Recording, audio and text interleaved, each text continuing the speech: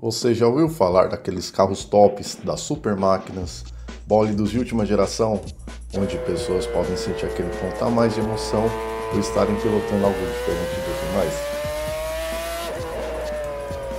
Agora, com as ferramentas de trabalho, não é muito diferente disso, tanto por parte empresarial quanto por qualidade e tecnologia.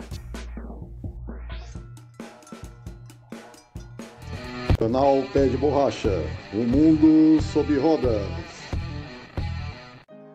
Nos primórdios do transporte público, lá em 1985, rodou o primeiro ônibus motorizado com a intenção de substituir os veículos de tração animal.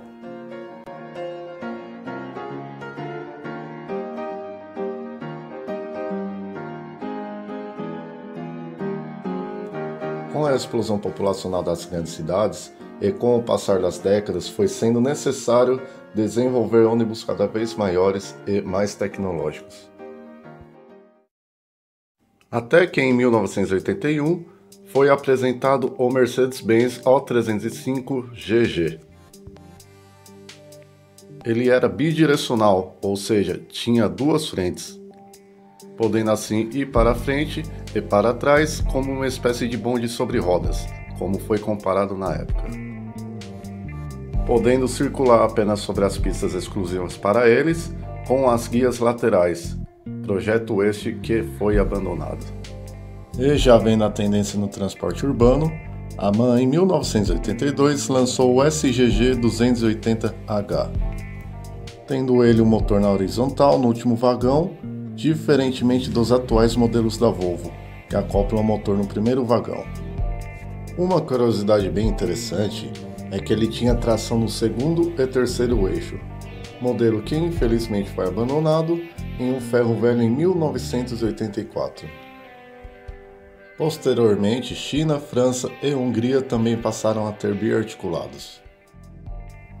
Até que em 1991, a Volvo latino-americana lançou o chassi B58E. Só que diferente dos monoblocos dos outros países, ela forneceu apenas o chassi. A Ciferal sendo assim a primeira a encarroçar um biarticulado no Brasil.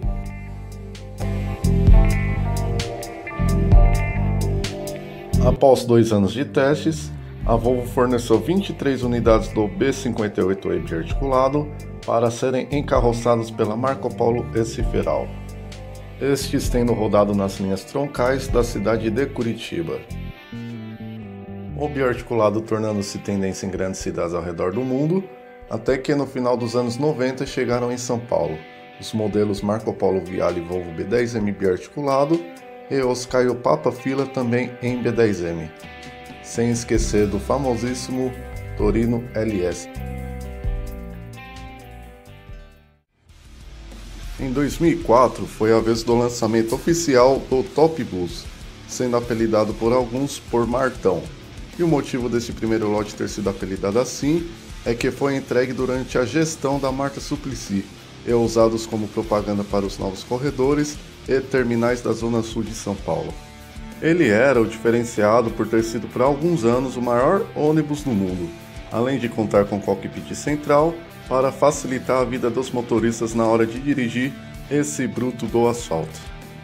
Inicialmente eles chegaram para a aviação Campo Belo num lote de 30 ônibus, iniciando no prefixo 72910 e indo até o 72939, sendo que parte deles chegaram a rodar pela aviação Cidade Dutra, nas linhas do novo Terminal Varginha, por um curto período até a chegada dos novos Milênio 2 O400 UPA.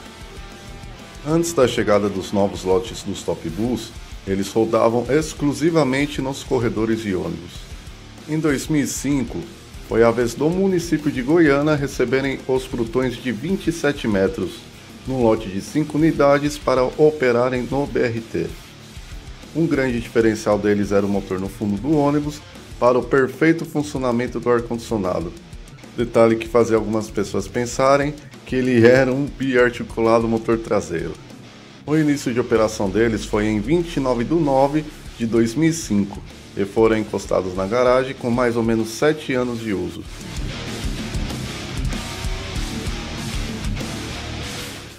Em 2006 chegou mais dois lotes de Top Bus, sendo esses já com a restilização do para-choque dianteiro.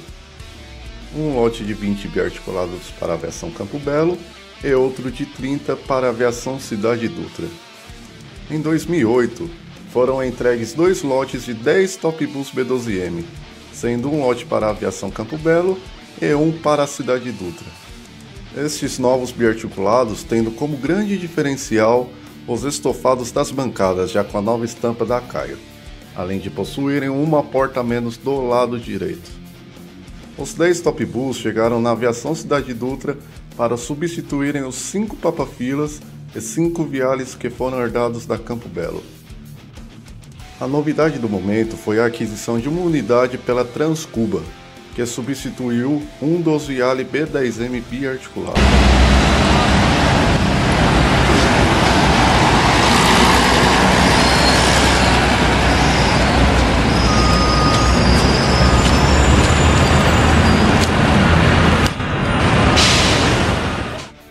Em 2009, a Volvo do Brasil lançou um protótipo do B9 South, encarroçado como Mondego LA. Foram lançadas várias matérias informando sobre o novo modelo. Tornou-se rapidamente a sensação do momento. Na Transpúblico do mesmo ano, foi apresentado um modelo articulado do chassi.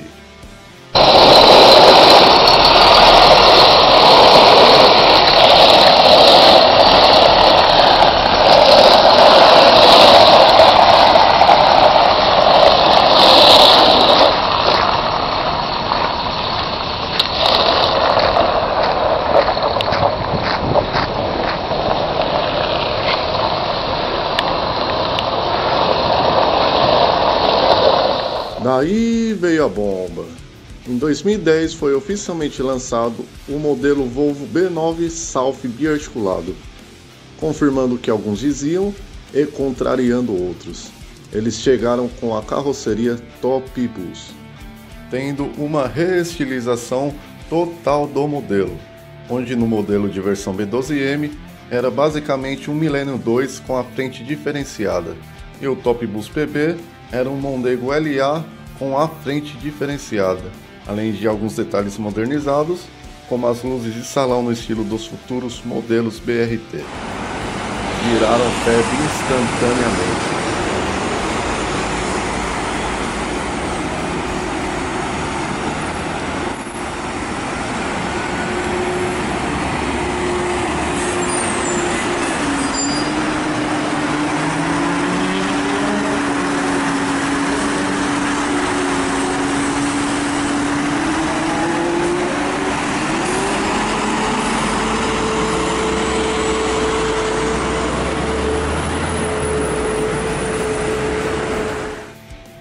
No mesmo ano, o modelo chegou em quatro empresas diferentes: Aviação Campo Belo, com lote de 50 unidades, Aviação Cidade Dutra, com lote de 30, VIP Guarapiranga, com lote de 10 e a Via Sul, com um lote de 10. Os 10 Top Bus PB da Via Sul foram comprados para operarem exclusivamente no Expresso Tiradentes. Estes 20 entre Via Sul e VIP alimentaram ainda mais os ânimos de aparecer biarticulados em outras regiões da cidade, o que acabou não acontecendo. Diferentemente dos Top Bus B12M, que tinham piso plataforma, tendo uma oferta bem maior de assentos para os passageiros, além da suspensão ser muito mais suave que a nova versão em piso baixo total.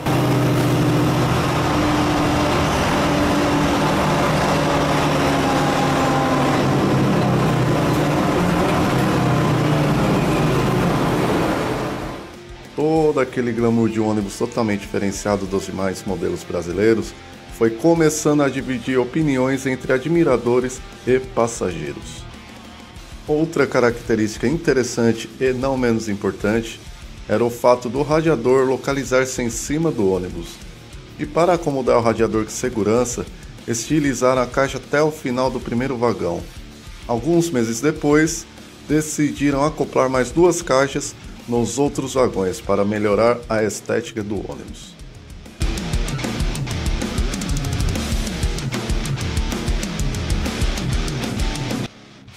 No final do ano de 2010, foi a vez da Zona Leste de São Paulo ser contemplada com 10 unidades desses brutões do transporte urbano.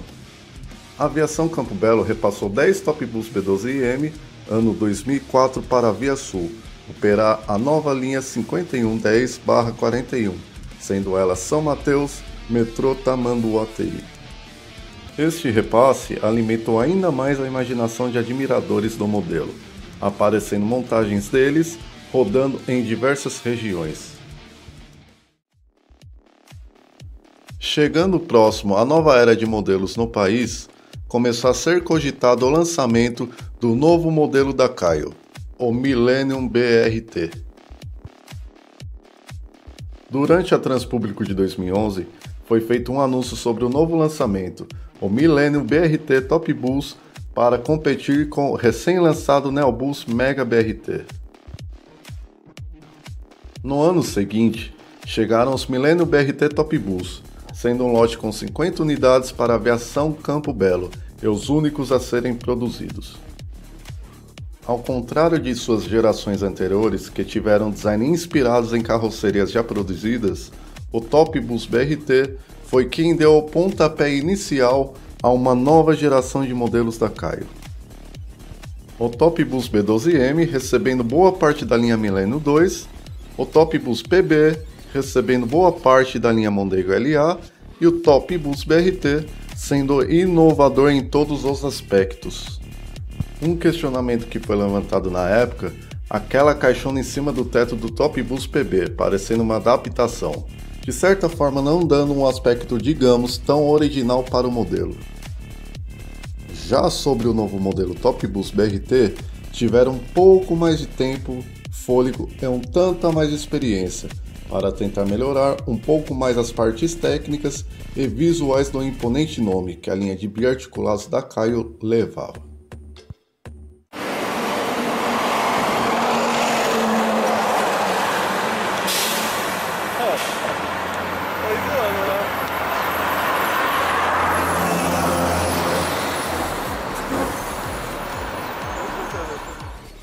Lugar das caixas, colocaram no pacote de design, já se pensando no radiador no teto, assim seguindo os traços mais harmônicos por toda a carroceria.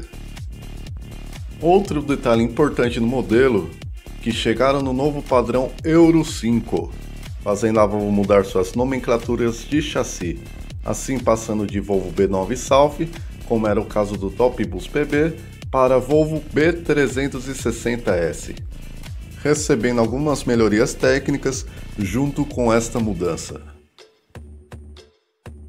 Sobre a estética do interior do veículo, foi adicionada uma divisória de fibra separando o motorista dos passageiros, igualmente aos modelos rodoviários. Além de contarem com os novos bancos de fibra e as janelas poderem abrir tanto em cima quanto embaixo.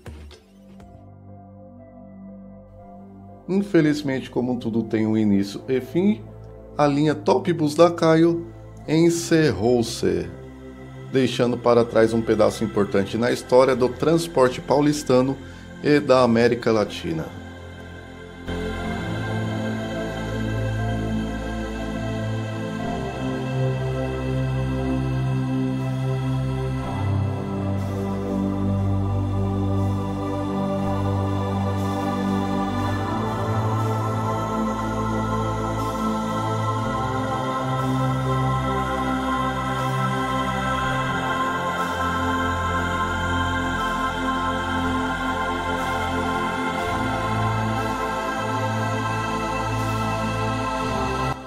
Dois grandes motivos que auxiliaram na extinção da nomenclatura Top Bus foi a Caio produzir o Millennium BRT, desde a versão básica acoplada em chassi OF1724 até os próprios biarticulados, que tiveram continuidade com o novíssimo Scanner F360H de teste, e até que em 2019 chegou um lote de Millennium BRT2 em Curitiba, em Scanner F360H e B340M.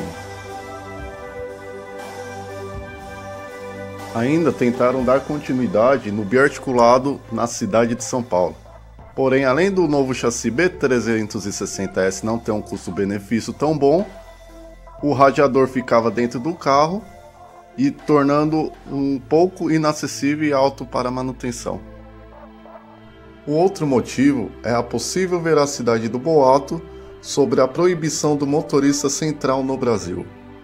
Tentei encontrar artigos legislativos sobre o caso, mas não encontrei nada em concreto, apenas algo sobre porta dianteira antes do primeiro eixo. Apesar desses terem sido fortes motivos para a produção do Top Booster sendo encerrada, um fato que realmente pode ter acabado com a nomenclatura Top Boost foram os primeiros Millennium BRT não biarticulados fabricados terem chegado como Millennium BRT Top Boost. Este adesivo no 41501 da Ambiental Transporte provavelmente foi um erro na linha de produção da Caio na hora de adesivarem o veículo. Top bus? É, né? Pô, Milênio BRT só tem É, vamos ver lá.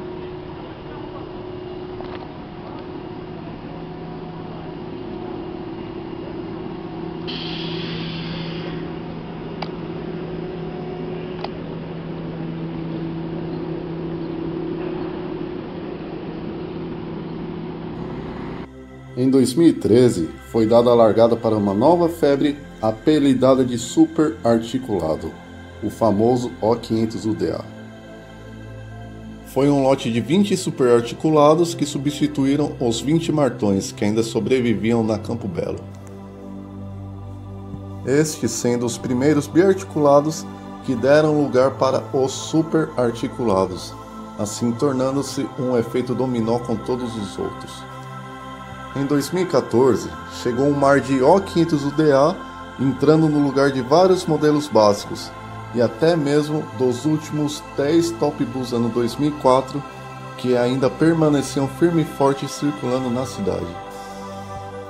Enquanto isso, na Campo Belo, os Top Bulls B12M ficavam cada vez mais raros nas ruas, pois a maioria estavam na reserva. Ainda assim, foram baixados no prazo de 10 anos determinado pela São Paulo Transporte entre 2016 e 2018. Ainda em 2018, com a chegada dos novos modelos Millennium BRT2, substituíram os Top Bus 2006 da aviação Cidade Dutra. E no final do mesmo ano, logo após a BBF, o 77211, filho único da Transcuba, foi baixado.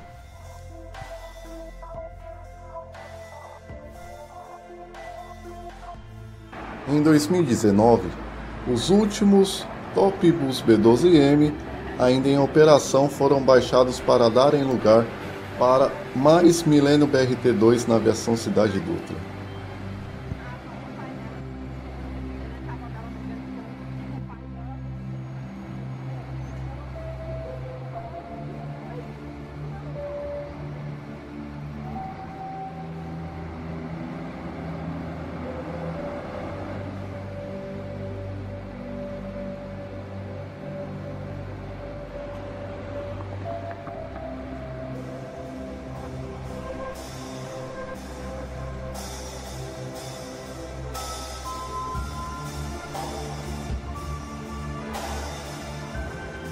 Ainda em 2019, foi a vez dos Top Bus PB da Campo Belo darem adeus ao sistema, mas tecnicamente desde 2017 já era comum ver os semi-desativados pelas garagens.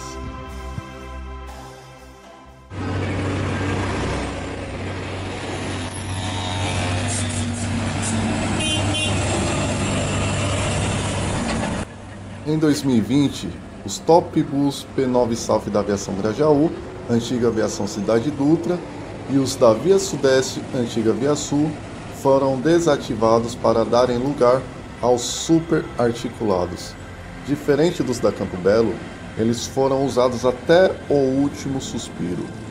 Enquanto que os da Metrópole Paulista, antiga VIP de Pinedo, foram substituídos por Millennium 4 O500 UA o que é um pouco aceitável, considerando a justificativa mais plausível com a inauguração do trecho do metrô entre Adolfo Pinheiro e Chácara Clabim, caindo bruscamente a demanda de passageiros das linhas operadas por ela.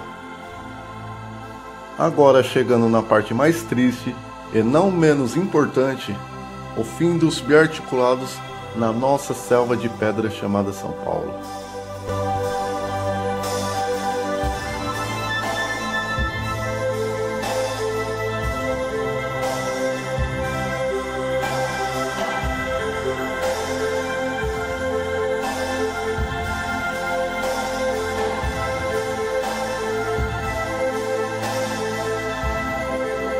Os top bus Volvo B360S foram encostados no fundo da garagem da Campo Belo, logo no início da pandemia do Covid-19, sendo que algumas unidades chegaram a circular entre a primeira e a segunda onda da pandemia. Durante todo o ano de 2020 e 2021, ficou sempre no ar a pergunta se os top bus voltariam às ruas ou não. Até que exatamente dois anos após a empresa ter desativado os B9 South, por fim encerrou a era Top Bus.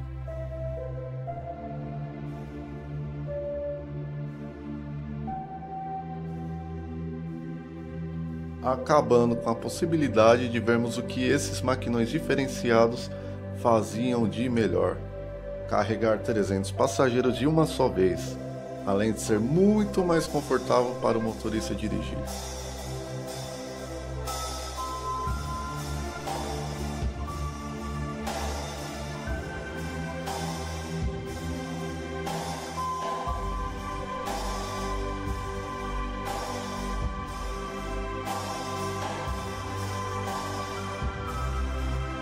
Felizmente, com a insistência e a admiração de algumas pessoas, inclusive nosso amigo Valprado da Aviação Campo Belo, a empresa vai preservar uma unidade desse modelo, o 71075, o antigo 72075.